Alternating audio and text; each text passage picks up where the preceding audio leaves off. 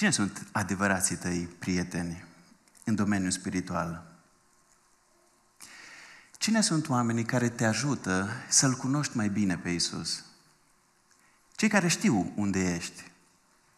Și poate în momentele cele mai importante din viață, au fost acolo și te-au încurajat să-L alegi, să-L asculți pe Isus.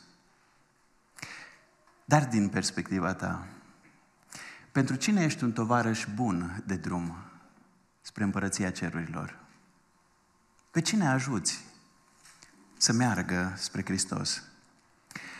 Ai și așa zici prieteni, oameni care de fapt îți sabotează relația cu Dumnezeu. Tu ești o piedică în calea unei persoane dragi de a-L întâlni, de a-L urma pe Isus. Vreau să vă spun că, indiferent care sunt numele pe care le-am rostit în gândul nostru, și noi și prietenii noștri avem un prieten mai bun în domeniul spiritual. Și în toate relațiile noastre noi purtăm influența acelui, acelui prieten. Și textul nostru de astăzi, 1 Samuel 19 și 20, ne va arăta această realitate. În spatele lucrurilor aparent banale, vom descoperi că este o influență, o prezență permanentă a lumii spirituale. Și imaginați-vă următoarele momente. Saul aruncă cu sulița. David cântă la liră. Saul stă la masă cu slujitorii și cu familia lui. Ionatan și David merg împreună la câmp. Așa cum ne-a spus, sau cât am spus, niciunul din lucrurile astea nu este rău în sine. Niciunul dintre ele. Trebuie să le așezăm în contextul lor, ca să vedem lumea spirituală din spatele acestor acțiuni vizibile, acestor acțiuni umane. Și să vedem că toate sunt strâns legate de lumea spirituală. Și noi astăzi facem aceleași lucruri, doar că folosim alte etichete. Noi spunem că practicăm un sport. Mergem împreună la antrenament. Mergem la restaurant sau mergem la iarbă verde, acum că a venit vremea bună. Cântăm împreună sau ascultăm muzică? Și astea sunt lucrurile care și astăzi prietenii le fac în mod obișnuit împreună. Dar cu siguranță și astăzi, în lucrurile obișnuite pe care noi le facem cu prietenii noștri, este acolo și o persoană nevăzută sau o influență nevăzută, un prieten nevăzut. Și noi purtăm această influență în relațiile noastre. De aceea cred că ne prinde bine să auzim acest îndemn. Alegeți bine prietenii. Alegeți bine prietenii. Și am ales acest titlu din cuvintele lui Saul, din cuvintele regelui respins.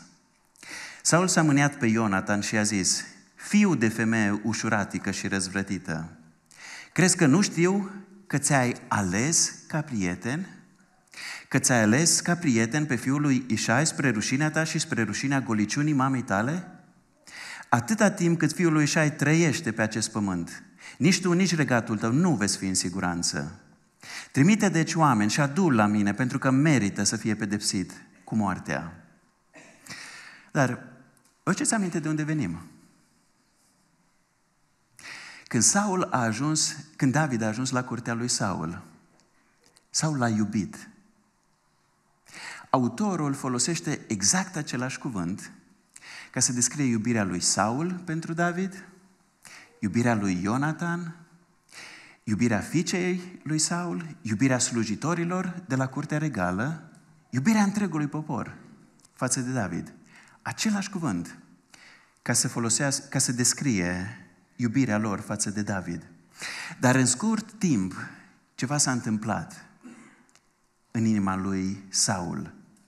Mânia, invidia, suspiciunea, ura, dorința de a ucide, teama, înșelăciunea, cruzimea și dușmănia au pus stăpânire pe inima lui Saul. Și duminica trecută am văzut implicațiile înstrăinării lui Saul de Dumnezeu. A făcut toți acești pași. Într-un singur capitol, autorul a concentrat, a condensat înstrăinarea, înstrăinarea lui de Dumnezeu.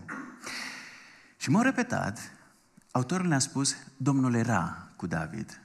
Domnul era cu David. De asta, Saul n-a reușit să-l omoare cu sulița și nici cu sabia filistenilor, pentru că Domnul era cu David. Dar, încheierea capitolului anterior, anterior ne mai arată ceva. Saul a văzut și a înțeles că Domnul era cu David. Și ne-am așteptat că după tot ce a făcut, după toate încercările lui de a-l ucide pe David, când a văzut și a înțeles că Domnul era cu David și de asta nu reușește el, să se pocăiască, să schimbe direcția, să facă ceva. Dar nu face asta. Nu face asta. El continuă să lupte. Și continuă să lupte cu cel care era cu David. Luptă cu Dumnezeu, se răzvrătește împotriva lui Dumnezeu.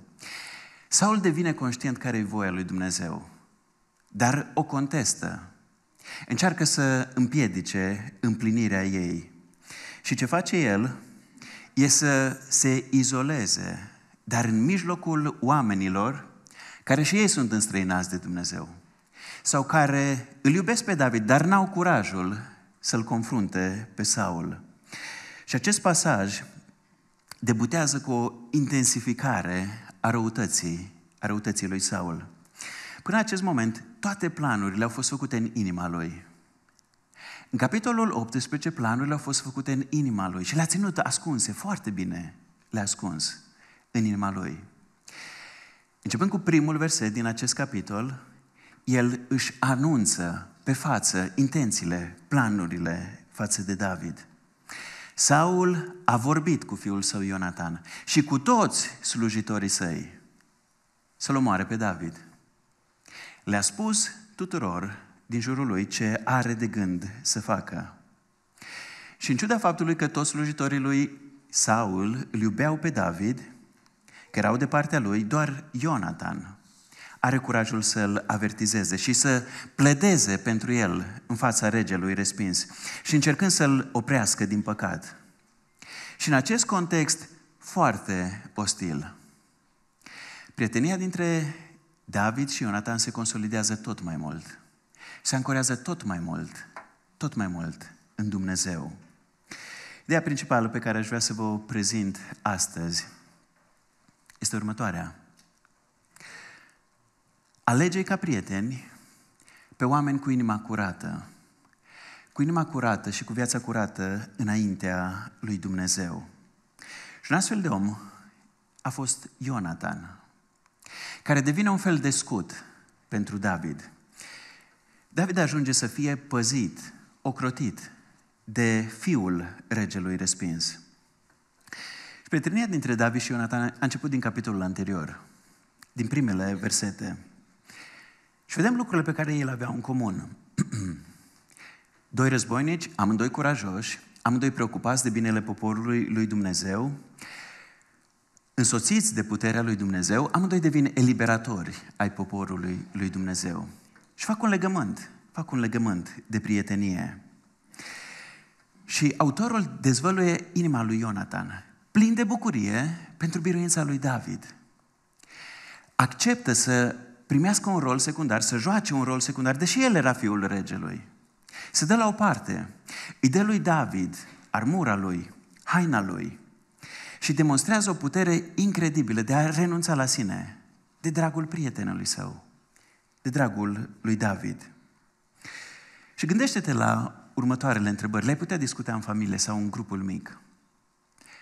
Tu ce faci cu biruințele pe care Dumnezeu le dă prietenilor tăi? Ești un Saul infectat de invidie pentru că celălalt a primit biruința de la Dumnezeu? Sau te bucuri sincer ca Ionatan? Relațiile tale de prietenie sunt ancorate în Dumnezeu. Și în ce fel sunt ancorate în Dumnezeu? Sau totul se rezumă la interese umane? La fel de bine ar putea fi necreștin. prietenul tău cel mai bun. Am putea spune că până în acest moment Ionatan a fost prietenul lui David doar în vremuri bune. Cine n-ar vrea să fie prieten, să fie în compania eroului național? Ionatan a avut această ocazie, cu siguranță că mulți și-ar fi dorit să fie prietenii lui David în vremuri bune. Dar descoperim că Ionatan îi rămâne loial, rămâne alături de David, chiar și în vremurile grele. Devine mijlocitorul, cel care susține adevărul, îl afirmă. Ionatan l-a înștiințat pe David zicând, tatăl meu Saul încearcă să te omoare. De aceea te rog, păzește-te mâine dimineață și stai într-un loc secret. Eu voi ieși și voi sta lângă tatăl meu în câmpul în care te vei afla tu. Îi voi vorbi despre tine și îți voi spune ce voi afla.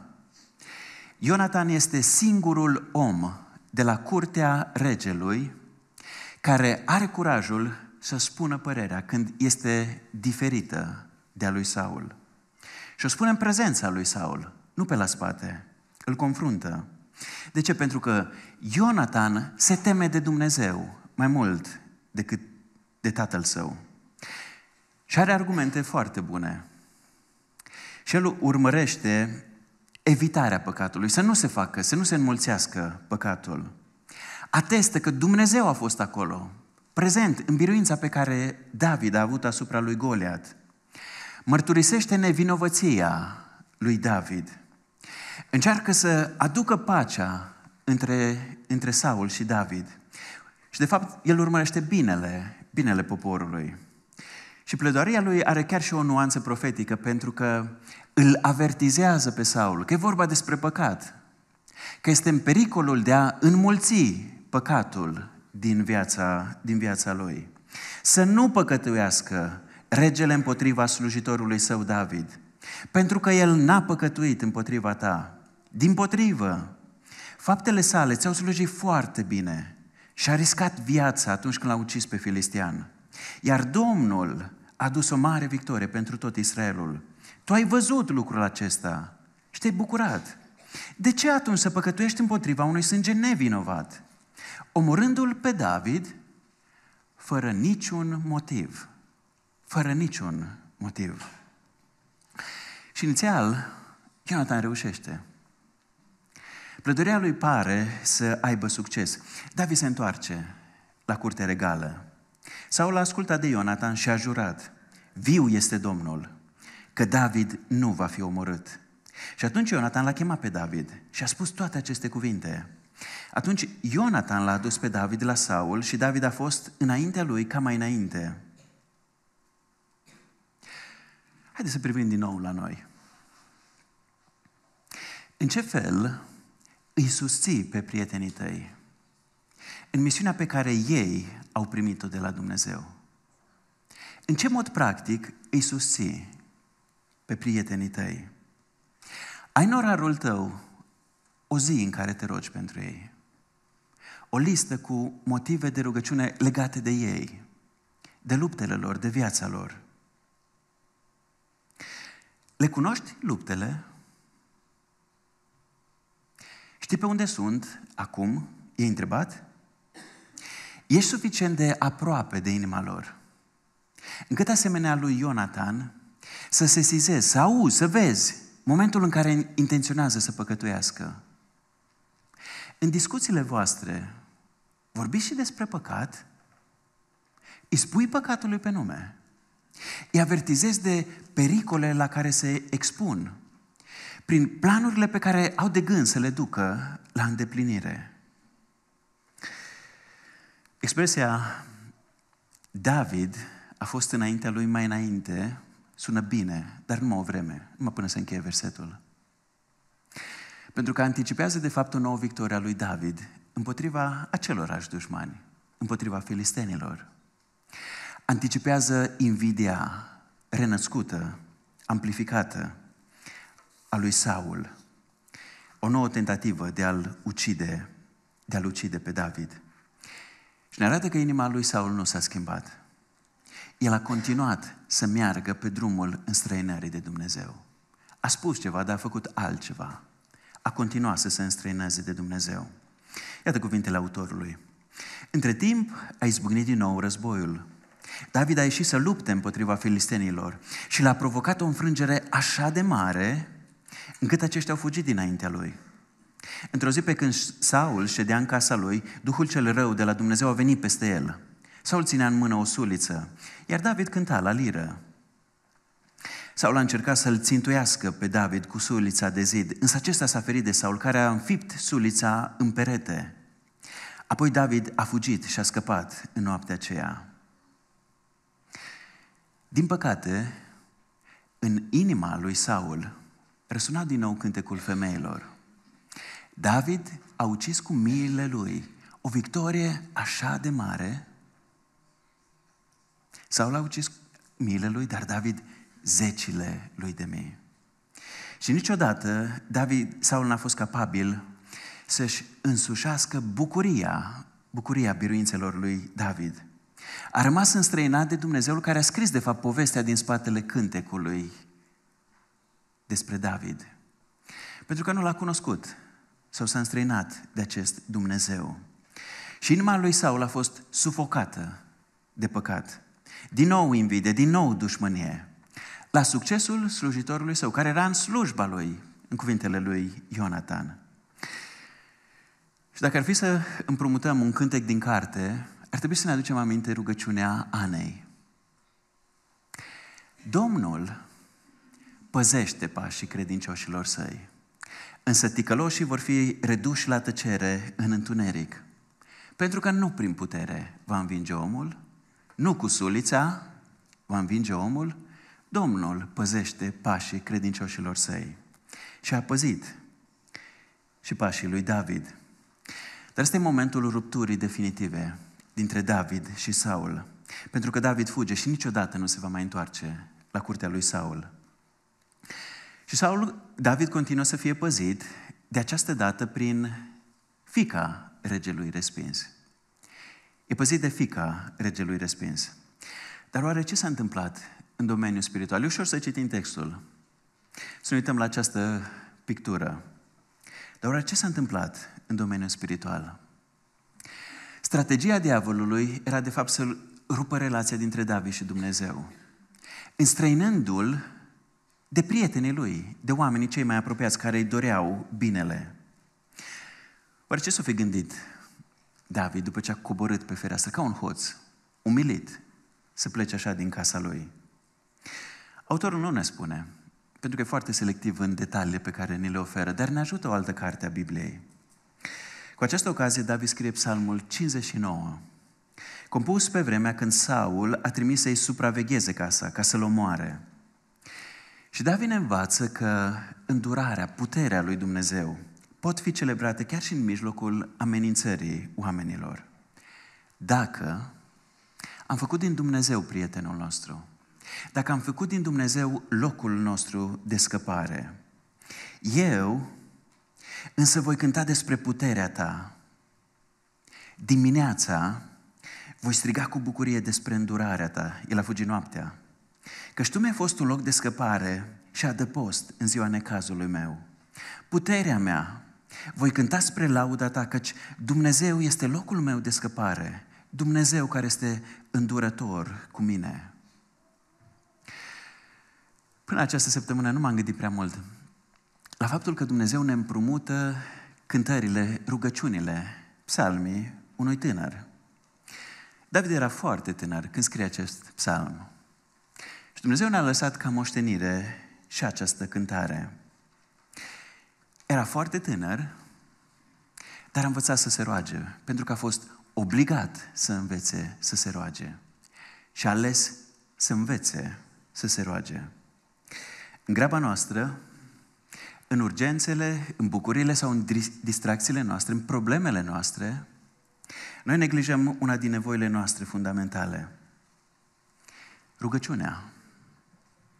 Și asta a fost tocmai secretul vieții lui David. Prin rugăciune a ajuns la pocăință. A fost confruntat de oameni, dar a răspuns prin rugăciune și s-a pocăit. Foarte rar mai auzim astăzi, nu, nu doar tineri, ci oameni din biserică, deschizându-și atât de larg sufletul înaintea lui Dumnezeu și înaintea oamenilor. Aducându-și bucuriile în mijlocul oamenilor și în primul rând înaintea lui Dumnezeu, rostindu-le cu voce tare. De ce? Pentru că noi, de fapt, neglijăm rugăciunea. O neglijăm în practica noastră. Și fie ne o conștientizăm, fie ne o recunoaștem, neglijăm rugăciunea, noi de fapt îl neglijăm pe Dumnezeu însuși. Și trebuie să recunoaștem în mod repetat că studiem și predicăm mai mult decât ne rugăm. Cântăm, ascultăm muzică mai mult decât ne rugăm. Imaginați-vă că am rescrie programul 2. Și am cântat atât cât ne-a rugat. Am predicat atât cât ne-a rugat. Oare după cât timp am merge acasă?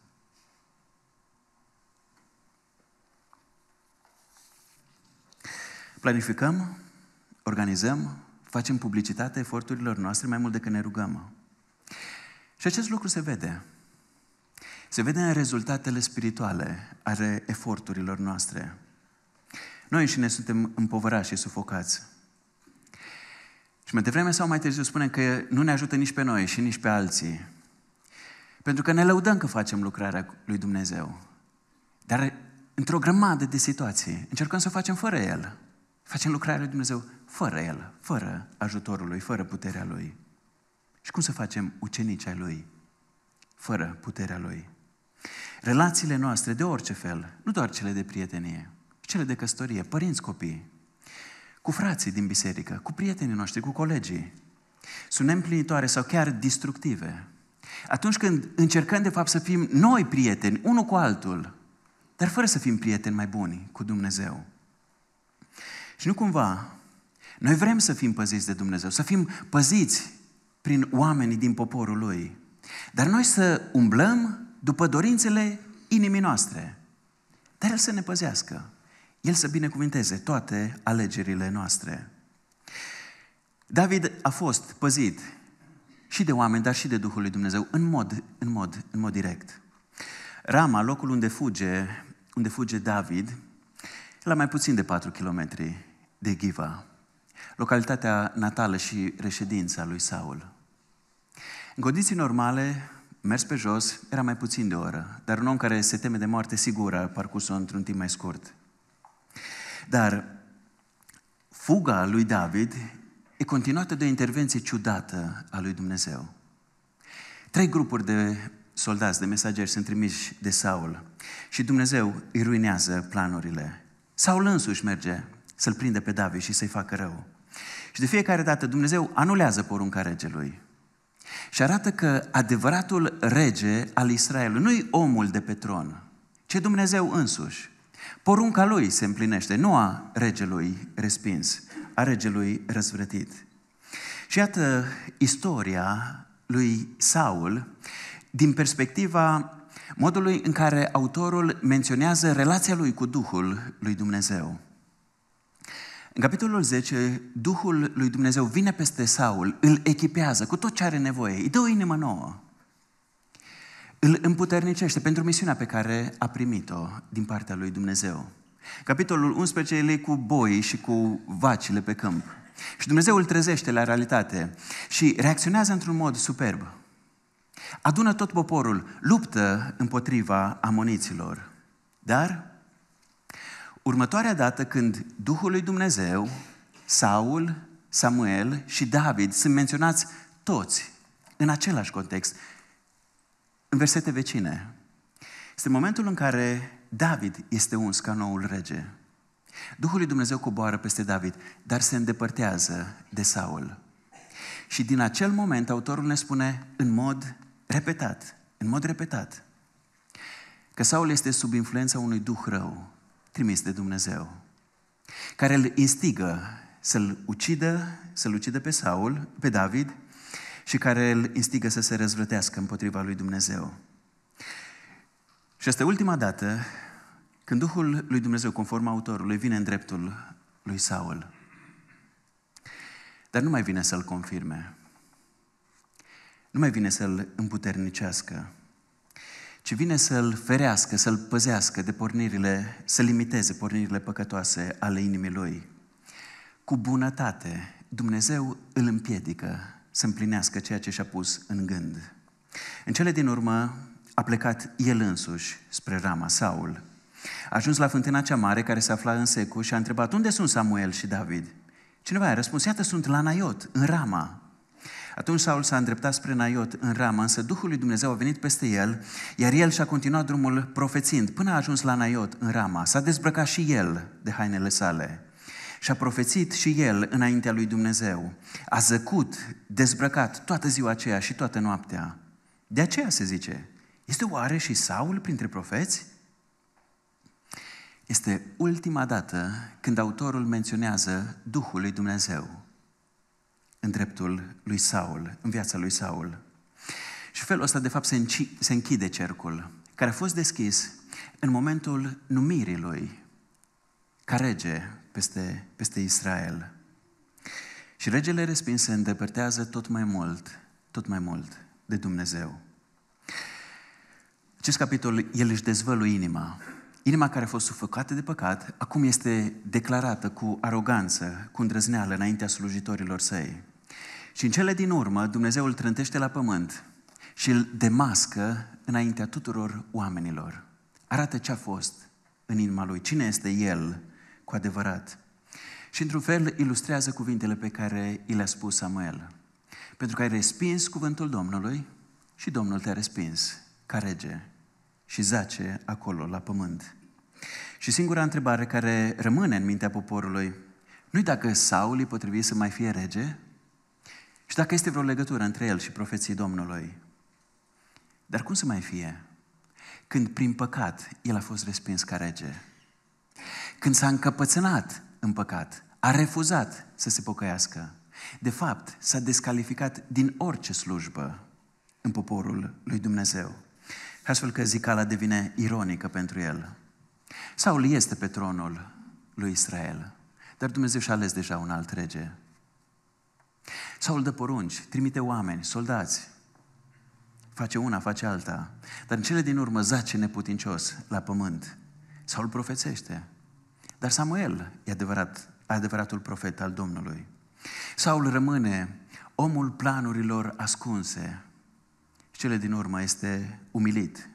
Omul aparențelor, pentru că Dumnezeu îl demaschează și îl umilește pe regele rebel. Și din nou, se împlinește partea care nu ne place din mesajul cărții. Voi onora doar pe cei ce mă onorează, însă cei ce mă disprețuiesc vor fi disprețuiți. Și Saul zace disprețuit înaintea poporului. Și e posibil să înțelegem când subordinea Duhului lui Dumnezeu a fost de fapt și un duh rău, trimis de la Dumnezeu, la fel ca și în celelalte episoade. Și îl chinuia din nou pe Saul. La fel ca și în celelalte episoade. Dar în ultima instanță, Duhul lui Dumnezeu nu-l mai confirmă în niciun fel pe Saul prin această coborâre, ci îl descalifică. Îl descalifică pe Saul. Și el intră în rândul oamenilor ca Balam, Caiafa, care vestesc, declară, sunt profeți, într-un fel, dar se opun poporului lui Dumnezeu, se opun alesului lui Dumnezeu și împlinesc voia lui Dumnezeu, deși ei sunt împotriva ei. În tot capitolul 20 este mai lung și vom petrece mai mult, mai puțin timp în jurul lui, David este păzit de prietenul primit de la Dumnezeu. E unul din cele mai frumoase daruri pe care Dumnezeu îl face lui David în această perioadă. Ionatan, fiul regelui respins. Ionatan rămâne cu inima curată, fără mândrie, fără invidie, spre deosebire de tatăl său. Mai mult, Ionatan încă mai speră că tatăl său se poate schimba. Încă mai este dispus să-l asculte să-l creadă în ceea ce spune. Dar David nu mai are această disponibilitate. Și împreună fac un plan să-l pună la încercare pe Saul, să-i dezvăluie inima, pentru că au văzut și ei ceva este în inima lui, dar face cu totul, cu totul altceva. Și Ionatan îi zice, voi face pentru tine orice, orice îmi vei spune. Și doar putem să ne imaginăm cum ar fi fost dacă acești doi oameni ar fi făcut echipă mai mult timp și ar fi condus împreună Israelul. Dacă David ar fi avut până la sfârșitul vieții un prieten bun, cu inima sinceră, și inima lui Saul dezvoluită din nou, o nouă izbucnire de mânie, o nouă criză de furie. Încearcă să-l ucidă de această dată pe Ionatan cu sulița. Și ăsta e semnalul în care și Ionatan înțelege că nu-l poate împăca pe Saul cu David. Că n-are rost să mai încerce, că n-are cu cine să facă lucrul ăsta. Ionatan i-a răspuns tatălui său, Saul, pentru ce să fie dat la moarte? Ce a făcut? Atunci Saul a aruncat sulița spre el ca să lovească. Astfel Ionatan a înțeles că tatăl său era hotărât să-l omoare pe David. Ionatan s-a ridicat de la masă arzând de mânie și în acea zi, a doua zi a lunii noi, n-a mâncat nimic, căci era trist din cauza lui David, fiindcă tatăl său îl umilise. Și Domnul Iisus spune în cuvinte o realitate dureroasă care ajunge uneori și în familiile noastre. Cel ce iubește tatăl sau mama mai mult decât pe mine nu este demn de mine. Iar cel ce își iubește fiul sau fata mai mult decât pe mine nu este demn de mine. Iar cel ce nu-și ia crucea și nu mă urmează nu este demn de mine. Și Ionatan l-a urmat pe Dumnezeu. L-a ajutat pe alesul Domnului. În acel moment, David devine fugar pentru o bună perioadă de timp. Noi am spune că e cea mai grea perioadă din viața lui, că e cea mai rea. Dar dacă ne uităm la psalmii pe care scrie că cei mai mulți psalmi cu context istoric dat sunt scris în pustie, de fapt e cel mai bun anotimp din viața lui David. Pentru că e echipat, pregătit de Dumnezeu, să apropie tot mai mult de Dumnezeu ca să conducă cu adevărat poporul. Cum să aplicăm noi acest text astăzi? Hai să ne uităm în primul rând la Saul. Ne prezintă încercarea regelui respins de a împiedica planurile lui Dumnezeu. Dacă ne-am gândit în contextul Scripturii, Saul devine tot mai mult un rege așa cum au toate națiunile.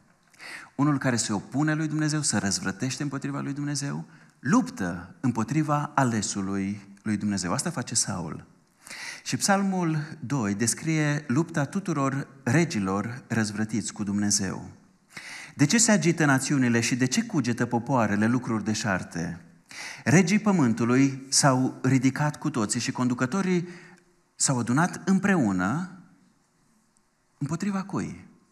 Împotriva Domnului și împotriva unsului său, zicând, să le rupem legăturile și să aruncăm funile lor de pe noi.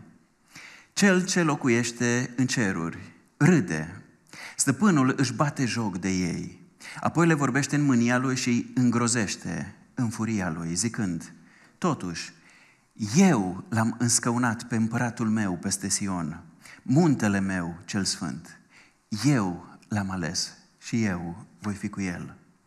Acum, putem coborâ, cred, foarte ușor în dreptul nostru. Nu trebuie să fim regi ca să luptăm împotriva Domnului, împotriva alesului său cu amare de data asta?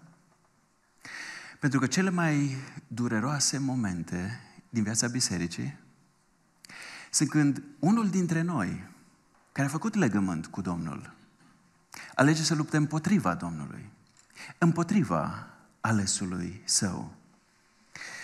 Când simte că poruncile, chemarea lui Dumnezeu îi amenință dorințele și lasă să se audă mai, mai tare vocea orgoliului, care nu vrea să se supună lui Hristos și luptă pe față împotriva lui, pentru că vrea să fie stăpânul propriei sale vieți. Și toți dăm lupta asta. Pentru că în permanență, în noi, se aud îndemnurile firii pământești. Se aud și îndemnurile Duhului. Și noi trebuie să alegem pe cine urmăm. Noi suntem acel ring de luptă în care se dă războiul dorințelor. Și noi trebuie să facem alegerea, noi trebuie să pășim alături sau împotriva alesului Domnului. Pe de altă parte, în acest context ostil, când ne-am așteptat să nu se, întâmple, să nu se întâmple asta, descoperim că prietenia dintre David și Ionatan se consolidează tot mai mult. Și tot mai mult se ancorează în Dumnezeu, tot mai mult.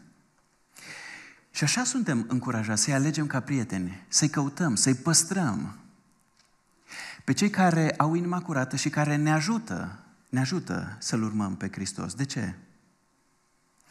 Pentru că prin relațiile noastre de prietenie devenim foarte vulnerabili. Foarte vulnerabili.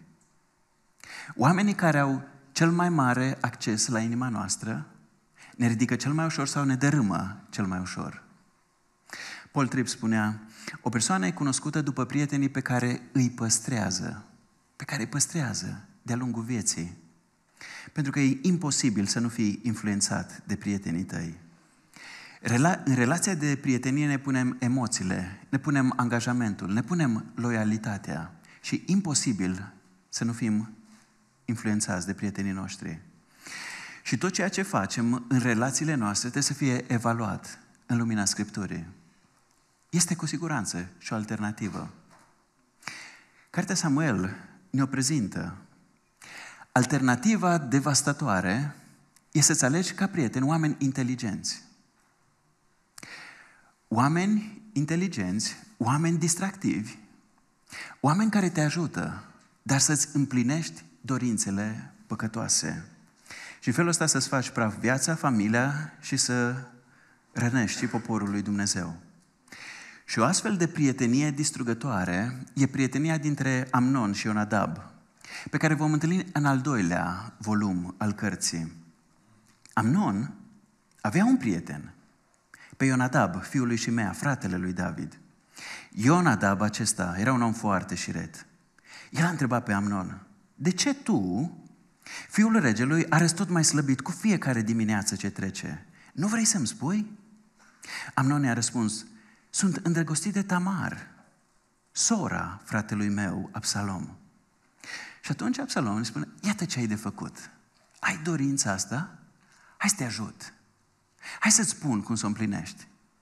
Și prietenia lor continuă. Amnon își împlinește dorința. Își face praf viața. În cele din urmă moare pentru asta. Își distruge familia. Și rănește poporul lui Dumnezeu. Cei mai buni prieteni nu sunt cei care te distrează la maxim. Nu sunt cei care te ajută să-ți împlinești dorințele păcătoase. Nici oamenii care te ajută să-ți crești veniturile, ne spune Cartea Proverbe. O pungă vom avea cu toții. Nu sunt cei mai buni prieteni pe care îi poți avea pentru sufletul tău. Cei mai buni prieteni pe care îi poți avea sunt cei care sunt prieteni mai buni cu Dumnezeu. Și te ajută și pe tine să devii prieten mai bun cu Dumnezeu. Prietenii adevărați sunt cei care îți cunosc luptele și care te ajută să-L alegi pe Dumnezeu, te încurajează să-L alegi pe Dumnezeu. Te contrazic, dar nu folosind cuvintele lor, ci cuvântul lui Dumnezeu, ca să te ducă mai aproape sau înapoi la El. C.S. Lewis are o carte, Cele patru iubiri, și el analizează cele patru iubiri care sunt descrise în Biblie. Și el spune, în literatura lumii moderne, prietenia e ignorată. De ce? Și el spune, pentru că puțin o cunosc, puțin o experimentează. Și ne putem întreba, de exemplu, cum ar fi fost viața lui David dacă până la sfârșitul vieții ar, avut, ar fi avut un prieten ca Ionatan. Observați că n-a mai avut un astfel de prieten pentru tot restul vieții. I-a fost frică de oamenii pe care i-a avut în jurul lui. Pentru că erau mai puternici decât el. Și erau alianțe politice, de fapt erau și rudele lui, dar se temea de ei. Erau alianțe politice. C.S. lui spune și el că baza pentru o prietenie trebuie să fie ceva, cineva bun și valoros. Pentru că prietenia aduce pericole reale. Prietenia, spune el, poate fi o școală de virtute, dar și o școală de viciu. Este ambivalentă. Și păstrați în minte prietenia dintre David și Ionatan în contrast cu prietenia dintre Amnon și Ionadab. O școală de virtute sau o școală de viciu. Au devenit cele două prietenii. Prietenia este durabilă și își atinge scopul constructiv doar dacă e ancorată în relația cu Dumnezeu. Toate relațiile noastre au nevoie de ajutorul lui Dumnezeu ca să rămână în picioare și să rămână pentru veșnicie în prezența lui Dumnezeu. C.S. Lewis spune, prieteniile noastre sunt mai înalte atunci când se înclină, adică atunci când acceptă un rol secundar, relație cu Dumnezeu și devin un sprijin în relația cu, cu Dumnezeu. Și în viața lui Ionatan descoperim acea bucurie, acea mulțumire pe care Ioan Botezătorul o va exprima mai târziu. Omul nu poate primi decât ceea ce a fost dat din cer. Voi înși vă sunteți martori că am zis, nu sunt eu Hristosul, ci eu sunt trimis înaintea aceluia. Cel care are mireasă este mire, însă prietenul mirelui. Cel care stă și la ude se bucură foarte mult de glasul mirelui. Prin urmare, această bucurie a mea este de plină. El trebuie să crească, iar eu să mă micșorez. Și Ionatan are curajul să spună asta privindu-l pe David. Dar iată frumusețea surprinzătoare a regelui nostru, Isus Hristos. Fiul lui Dumnezeu putea să coboare din cer cu fulgere și tunete, să urle la fiecare pas ce avem de făcut și când n-am făcut, și apoi din nou ce avem de făcut. Dar El a venit între noi și altfel, altfel ne-a chemat pe urmele Lui, ne-a chemat să fim prieteni Lui. V-am spus aceste lucruri pentru ca bucuria mea să fie în voi, iar bucuria voastră să fie deplină. Aceasta e porunca mea. Să vă iubiți unii pe alții așa cum v-am iubit eu. Nimeni nu are o dragoste mai mare decât aceasta. Și anume să-și dea viața pentru prietenii săi. Voi sunteți prietenii mei, dacă faceți ce vă poruncesc eu. Nu vă mai numesc sclavi, pentru, pentru că sclavul nu știe ce face stăpânul său, ci v-am numit prieteni, pentru că v-am făcut cunoscut tot ceea ce am auzit de la tatăl meu. Nu voi m-ați ales pe mine, ci eu v-am ales pe voi și v-am desemnat să mergeți și să aduceți rod, iar rodul vostru să rămână. Pentru ca orice veți cere Tatălui în numele meu să vă dea, vă poruncesc aceste lucruri ca să vă iubiți unii pe alții. Cum ne echipează un astfel de text pentru mărturie? Dacă mă ajuns, Daniel, te rog, ultima planșă. Prin cultivarea relațiilor sănătoase cu prieteni creștini. Cu prieteni creștini. Lăsându-L pe Iisus să ne înnoiască inima și să ne înnoiască relațiile. Să ne înnoiască inima și să ne înnoiască relațiile. Numai așa putem prezenta lumii o mărturie care să fie atât puternică cât și credibilă despre Domnul nostru Isus Hristos. În Ioan 13 el spune, prin aceasta vor cunoaște toți că sunteți ucenicii mei. Dacă veți avea dragoste unii pentru alții. Și haideți să ne întrebăm. Dacă un necredincios ar privi la relațiile tale, ar auzi discuțiile tale cu prietenii tăi, ar fi atras să devină ucenicul lui Isus? Dacă ar auzi discuțiile tale și dacă ar asista la întâlnirile tale cu prietenii tăi, ar descoperi în vreun fel amprenta dragostei lui Isus acolo, în relațiile tale? Întrebarea asta e incomodă, fie că vorbim despre relațiile noastre de prietenie, fie că vorbim de relațiile de căsătorie, relațiile părinți-copii, relațiile cu colegii noștri sau orice fel de relație. Incomodă. Și singura noastră șansă să spunem da e să arătăm că Isus Hristos este singurul rege care își urmărește neîncetat dușmanii. Pentru că vrea să-i transforme în prietenii lui. Și atunci când reușește și face din unul din dușmanii lui prietenul lui, atunci el rămâne credincios legământului în care ne cheamă. Iisus Hristos este singurul rege care face asta. Și noi trebuie să trăim arătând că în fiecare zi avem nevoie să fim căutați, întâlniți de regele nostru. Și El să fie prietenul care să ne dea puterea să-i împlinim poruncile, ca să trăim în ascultare de El.